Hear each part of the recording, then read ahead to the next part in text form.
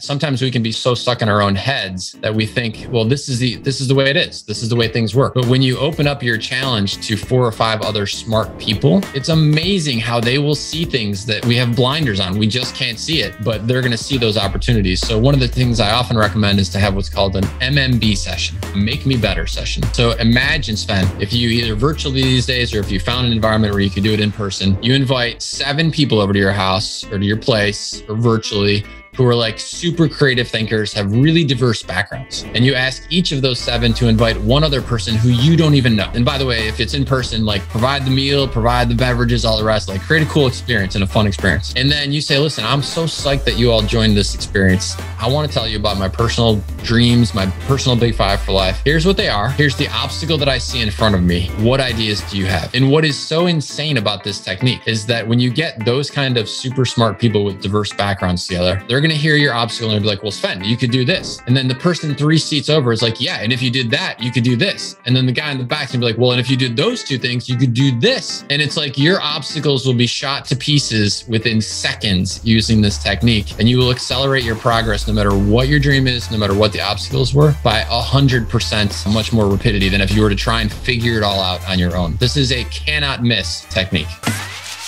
As a serial entrepreneur, I'm always trying to evolve. Having great conversations with other high performers is one of the best ways to grow, not only in business, but also in spirit, health, and relationships. This is Svencast. Listen, grow, repeat. What I still find challenging, especially if you say, for example, Big Five for life, is sometimes like my biggest challenge is that sometimes my goals seem to be conflicting a bit especially regarding my time. Like, for example, mm. um, I would like to be like very spiritually enlightened. This is something I would like to takes a lot of time. I would like to be very athletic and very sporty, maybe even, you know, doing some kind of, let's say, mini competitions. For example, in martial arts, takes a yeah. lot of time. Uh, yeah, if you do martial arts training, you have to train technique, endurance, sparring, etc., etc. So you have like all these groups of trainings you need. Like you, you cannot you, you cannot just train technique without endurance. You cannot train endure, etc., etc. Like like it goes on and on. So my conflict is like the time, and I, but but I also want to uh, um, be you know the guy who's creating a billion dollar company and i'm doing that right now so so I, I quite often I run into those conflicts where like my big five are like constantly clashing and I still have to kind of prioritize and decide. But it feels terrible, like a lot of times. How what what do you make of that? I would say two things. So this goes back a little bit to the who concept. I would look at people who have built billion dollar companies mm-hmm. and find ones who are also competitive athletes. My guess is there are definitely examples out there mm. and learn their story. What did they do? Did they just have a particular management team that supported them that enabled them to be the super great creative at the top who was coming up with the ideas and then implementation partners for everything else uh, did they um, have a, a, scheduling methodology that worked particularly well ah. so first thing in the morning they got in their workout and they got in their competitive training and they scheduled on their calendar ahead of time that i'm going to do four competitions every six months. And therefore they treated those with absolute sanctity and then everything else came after that. Like my guess is there is a process that these people have figured out which has proven to be successful. And if you can find four or five examples of this maybe example number one doesn't fit with your lifestyle or your personality but somewhere in that spectrum somebody has figured this out. And this this is the creative part to me also that sometimes we can be so so stuck in our own heads that we think, well, this is the this is the way it is. This is the way things work. But when you open up your challenge to four or five other smart people, it's amazing how they will see things that we we have blinders on. We just can't see it, but they're going to see those opportunities. So one of the things I often recommend is to have what's called an MMB session, a make me better session. Mm-hmm. And you take these things like that's a great example what you just gave. And I love that because it's very, very real and very tangible. And so imagine, Sven, if you either virtually these days or if you found an environment where you could do it in person, you invite seven people over to your house or to your place or virtually who are like super creative thinkers, have really diverse backgrounds. and you ask each of those seven to invite one other person who you don't even know. Mm-hmm. And then you get on the call or in person. And by the way, if it's in person, like provide the meal, provide the beverages, all the rest, like create sure. a cool experience and a fun experience. And then you say, listen, I'm so psyched that you all joined this experience. I want to tell you about my personal dreams, my personal big five for life. Here's what they are. Here's the obstacle that I see in front of me. What ideas do you have? And what is so insane about this technique is that when you get those kind of super smart people with diverse backgrounds together, they're going to hear your obstacle and be like, well, Sven, you could do this. And then the person three seats over is like, yeah. And if you did that, you could do this. And then the guy in the back can be like, well, and if you did those two things, you could do this. And it's like your obstacles will be shot to pieces within seconds using this technique. And you will accelerate your progress no matter what your dream is, no matter what the obstacles were, by a hundred percent uh, much more rapidity than if you were to try and figure it all out on your own. This is a cannot miss technique. Yeah, th- I mean, yeah, that that sounds really great, and it's it's also like the NLP approach and the masterminding approach, like, and it also, and I would even go further in that case and say, hey, uh, really check what people you're surrounding yourself with, yeah. because you know, like you can you can have that that kind of experience on a smaller level uh, quite more often if you have like if you hang out with the right people basically. And this is what they say also about net worth and etc etc so if you if you want to be athletic hang out with athletic people for example. Well and in this cool. case i would say so i 100% believe that's true. And i would say one of the challenges of being um, an entrepreneur and especially an entrepreneur who's leading the company is that everyone expects the leader to have all the answers. And so it's more challenging to have that open dialogue because many leaders are looking to be that solid rock foundation that, hey, everything's yeah. going to be okay. We'll figure this out. And yet when they close the door, they're like, dang, like, what are we going to do? and, and so having other people who are at that same level is fantastic to be able to talk to. And then I would say in this example of the MMB, I've found it to be invaluable to have people from a wide variety of backgrounds. So if it's something athletic, yeah, have a couple other athletes there who can give you that perspective, but then have people who look at the world through a radically different lens, a totally mm. different lens, uh, because they're going to provide a perspective that you just aren't going to get elsewhere. Yeah, I, I, f- that's totally true. And and uh, for example, my company, Digistore24, like we have all these people from all these various backgrounds, and when we hire people, like usually I don't even I don't even read what their education is. I'm just about like, can they solve a problem? Like the problem that's at hand. Do they, do they, um, do they, are they hands on and are they great talkers or great doers? Um, yeah, it's, it's really, and, and uh, like, for example, I, I'm, I have a medical background. I'm, I'm mm-hmm. a dentist. So and it's really good to have like a dentist's perspective on business. Yeah, Even, like right. Yeah. I mean, think about that. The lens through which you look at the world because of that training gives you such a unique perspective. You know, yeah. imagine if you had someone who is a professional musician, someone who is a professional fisherman, someone who is a professional yeah. athlete, um, someone who is a stay-at-home parent. We all you're going to get so many different lenses on a particular problem that you're going to get, and you're a creative guy, uh, and so add in all those those creative inputs to your own creativity imagine what's going to pop out of that yeah i mean i think i think uh, companies like big tech companies do that like we do it as well that we like to when we have like for example a, a team or a management team we like to have them from all kinds of backgrounds to exactly yeah. have this effect of different perspectives which is uh, which is very important um, you mentioned uh, not too long ago, you, you talked a lot about dopamine. And so I, I'm I'm also thinking a lot about uh, let's say dopamine optimization. And like one way I am trying to do it is like I I try to minimize my stimuluses. Mm-hmm. So I you know I I try to like during the day not to look at Instagram too much. I try to, uh, yeah, I, I try to not like, like have have too many dopamine impulses in order mm, to still quick fix ones. Yeah, yeah, in order to still be able to feel that when I'm doing boring work. So quote boring work like reading something like reading contracts or something like right. that. Um, what's your take on that? What what do you do around that? Because you seem to it be actually reminds me of something that I have been teaching my daughter since she was a little kid, and something that I am constantly reminding myself of, which is an expression that uh, it's very important that I don't let the small stuff keep me from the big stuff. Mm. And so the small stuff is the the mundane, boring things.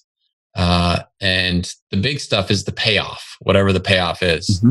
And I remember using this. We were going to go to Africa, and she loves animals. She was only four and a half at the time, and we had to get shots. You know, you got to go get the yellow fever and, and a whole litany of shots to get ready to go to Africa. And so she was kind of scared and kind of nervous. And uh, I said, Boo, I said, you know, this is a classic example of don't let the small things keep you from the big things. I said, I'm not happy about getting the shot either. I don't like to get shots either. But if we get the, the yellow fever shot and we know that we're going to be safe when we go to Africa, then we get to go see the animals. And wouldn't it be cool to see an elephant and a lion? And so this idea that, yeah, sometimes in life you got to go through the, the, the painful small steps to get to the big payoff is one of the great life lessons. Uh, this applies whether you're learning to play guitar, create a great company, um, become an amazing athlete. To me, that's just part of the process. And if we allow ourselves to constantly be distracted by the short little dopamine fixes like the Instagram fix, as you're talking about, you never sort of get to the big payoff. You're just you're just in that little that low level energy zone. Yeah, the thing is, like the world is right now, uh, especially the the tech world is created in a way that that gives you a lot of little dopamine shots along the way yeah. during the day. And the problem is that you get desensitized by that and your motivation goes down, your ability to, to concentrate goes down and all all that all that thing. So I I have to I have to personally make an effort to not fall for that mm-hmm. and to not I don't, you know, like to, yeah, to still be able to feel something, to still be, I, I need sensual deprivation in order to be able to, to still feel something for the little things. So I can eventually get to a big thing. Yeah, and so so I think everyone's got their definition of what would work for the sensory deprivation part. To me, it's being in nature uh, yeah. a walk on the ocean side. I love tide pools. I don't know why, but ever since I was a little kid, like to to see the tide pools and all the crustaceans and little crabs and the fish and the rest of that, yeah. I find myself incredibly calmed and inspired and creative when I'm in that type of environment. Um, whether that's a walk in the woods for someone, whether that's walk along the ocean, whether that's being in the water, physically swimming in the water with a, a snorkel mask on, everyone knows what really does it for them I think when I hear you say that, I think about my own life. To me, the key is to make sure that I have scheduled and honored that time. Yeah. Because then I know what that feels like. And the short little dopamine fix doesn't even compare. Yes. Yes. That, that, that makes sense to like have, find an activity where you, um, where you are not like getting that little dopamine shot just from one little thing, but from from something that you're surrounded with, like family yeah. or nature, or and you spend a longer time with. Yeah, this, a level like, a level nine or ten experience that lasts for an hour. Yes, is going to make those little level six and seven experiences that last for a microsecond seem completely inconsequential. And that that to me is part of what enables us to break that chain because when we have the level 9 10 experience we're like wow that was awesome and i'm willing to to work hard to get that again whether that's you're in a competition as an mm. athlete and you get to play for the championship and you know how much time went into training for that uh, but because you've experienced it you're like no the training's worth it um, whether it's writing a great piece of code and then there's the payoff of here you have this incredible software or in my case writing a book. Uh, the process of writing is it's long and it's arduous. As much as I love what I do, but to read a particular line, Sven, that brings out an emotion in me, and I know that it's going to bring out an emotion in the reader. The payoff on that, oh, that's a level a thousand on a scale of one to ten. Great. Um, like as a final, let's say as a final tip, uh, there's a lot of people especially in the audience, who would love to write their first book. What yeah. your your biggest tip or advice for them in order to get that done? I would, gosh, there's so many tips that I would give. We could do a whole podcast on that alone because I've learned, I've learned so much over the course of the years, including a, a lot by failure. Uh, but let me think if I can give you just one or two that are absolute. Well, yeah. the first one is something we talked about a little bit before, but I'll expound upon it, and that is uh, write first, edit 2nd mm-hmm. um, so allow your thoughts to flow, and then go back and see how structured you need to make them. But you know, write first, uh, edit second. And the second thing I guess would be if I've always, I've always felt that if I make myself laugh, but when I, if I write something and it makes me laugh, it's going to make somebody else laugh. If it makes me cry, mm-hmm. it'll probably make someone else cry. And so by writing to one person and making sure the content connects, then you just need to find another, you know, 250,000 people that are sort of like that one person. And that's going to happen from word of mouth. That's going to happen from you out there doing press and media. That's going to happen from just creating a great product or service. In the, in this case, the book. Um, but write something that you're super proud of that connects to you on a deep level and it's probably going to have that same sort of impact with other people as well. Thank you. And as a final question, like if you want to create the bestseller, do you have yeah. any different approach, like for creating, like when you when it comes to bestsellers, as opposed to let's say uh, just a book that you want to write? Is there any difference, or is it just like identical, everything identical for you? Well, so I'll tell you one practice that I use is when I finish a book, when I feel, and, and I'm very, very methodical in terms of the editing process, like I said. So once I've written it, then I go back there and I start the editing process. And I will probably edit a book between 20 and 50 times, uh, mm-hmm. going through and making sure I like every single word, every single page.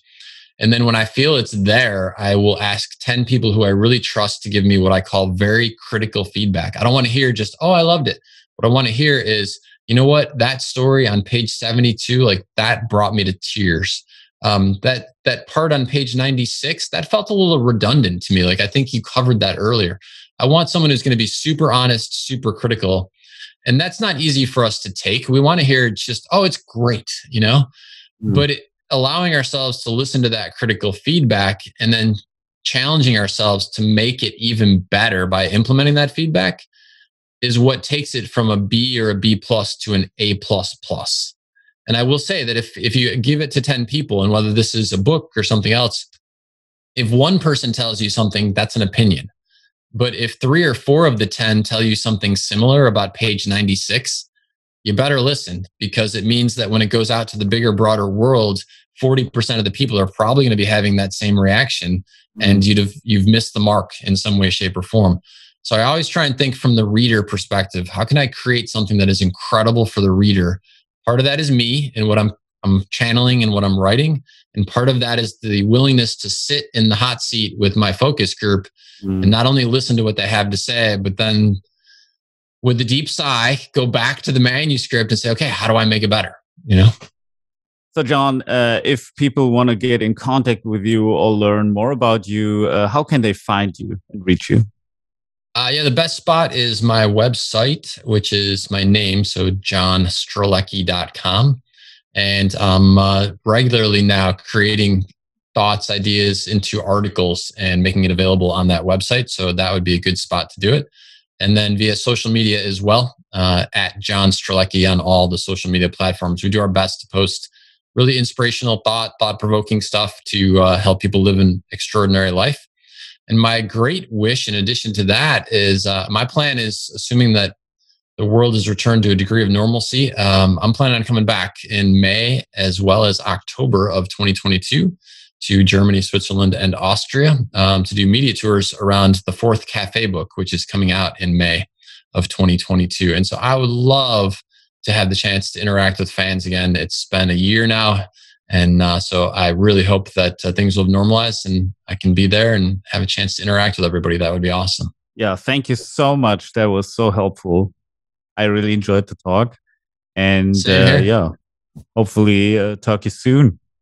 Yeah, no, I look forward to doing it again. And uh, thanks for all that you're doing out there. I know that you're helping so many different entrepreneurs and uh, folks who have big dreams bring those big big dreams to life, and that's a great gift that you're doing. I'm I'm very grateful for that. And yeah, thanks to you as well for yeah, all your all your inspiration and your wisdom. Uh, changes million pe- million people's lives, and that's that's the best thing you can do. I think that would be one of my big five for life. Like help as many people as I, as I can. Right. Love that. Love that. All right, I'm here for you. Let me know if I can be of assistance. Okay. Thank you. See you next time. Right. Bye bye. Thanks, man. If you enjoyed this episode hit the subscribe button and never miss an episode of Svencast again.